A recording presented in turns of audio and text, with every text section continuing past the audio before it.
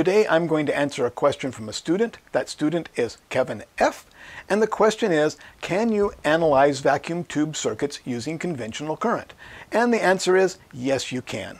When vacuum tube circuits were ubiquitous, it was not uncommon to analyze them with conventional current. However, back in those days it was much more common to use electron flow to analyze circuits. It was no less confusing, which is why today almost everybody uses conventional current to analyze circuits. With conventional current, we have current flowing from positive to negative or high pressure to low pressure, which makes more sense than current flowing from a low pressure to a high pressure. So it's just easier to wrap our minds around it, which is why virtually everyone uses conventional current to analyze circuits these days. So let's take a look at how vacuum tubes work and see why we might think we can't analyze them with conventional current, and then we'll see that we actually can. So a vacuum tube is a glass vessel that has had the air taken out.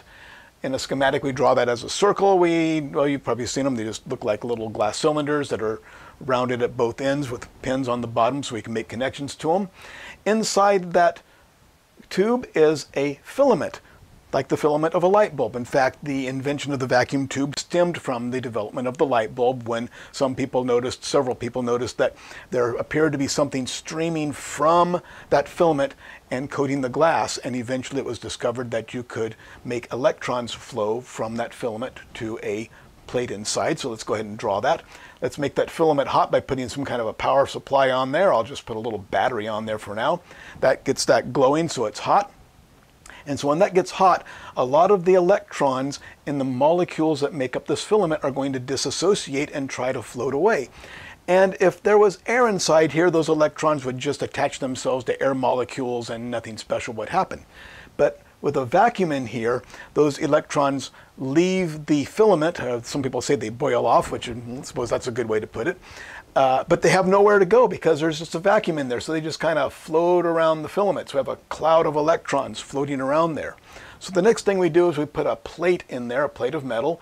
In the real construction, we would have the filament in the middle and the plate would be a cylinder around the filament. But in the schematic, we draw it this way and it's easier to draw what's going on, drawing it like the schematic. So here we go.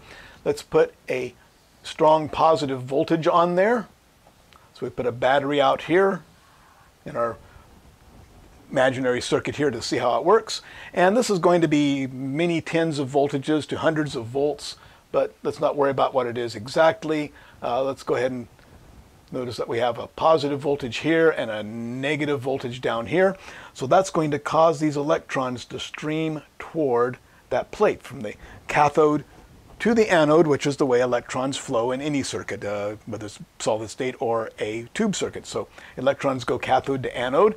And so uh, if we reverse this battery, the negative voltage here is just going to repel the electrons away. So the electrons can only flow one direction. So we have a vacuum tube diode here.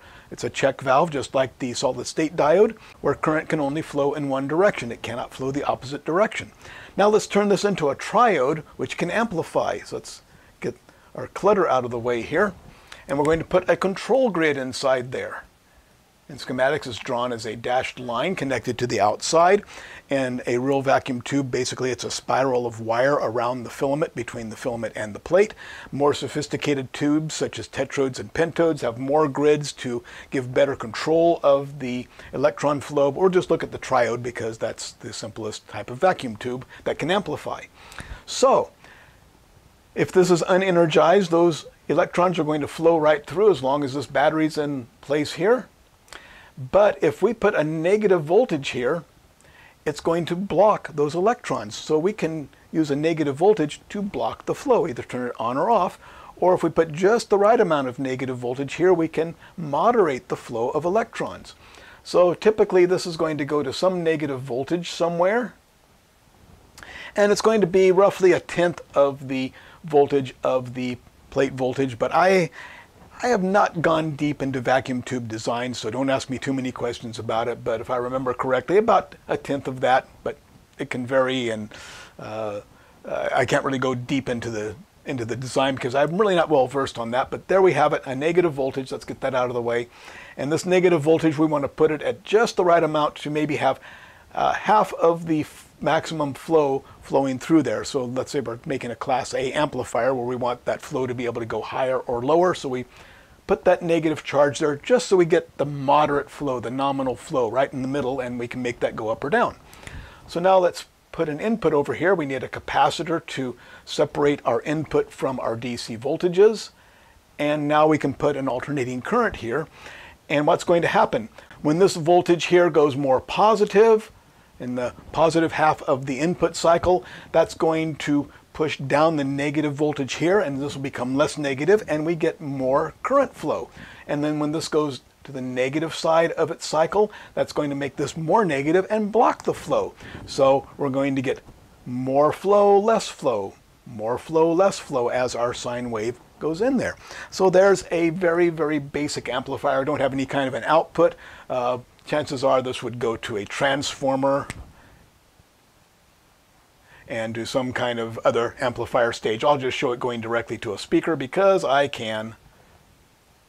There we go. And there's the output as the current varies in this loop. We get a varying current in this transformer, which varies the current in the speaker. And there you go, we have amplification. So when we analyze how a vacuum tube works, we've watched the electrons go from the cathode to the anode. So we have electron flow going from negative to positive. So how can you analyze a vacuum tube with conventional current? And the answer is just the same way we do with transistors. When we look at transistor circuits, we don't imagine all of the majority carriers and minority carriers and junctions and everything that's going on in the transistor. Now, well, let's just draw a real quick an easy transistor circuit here. A simple common emitter circuit. In fact, let's go ahead and draw this the same way we did the vacuum tube circuit because it would be very similar.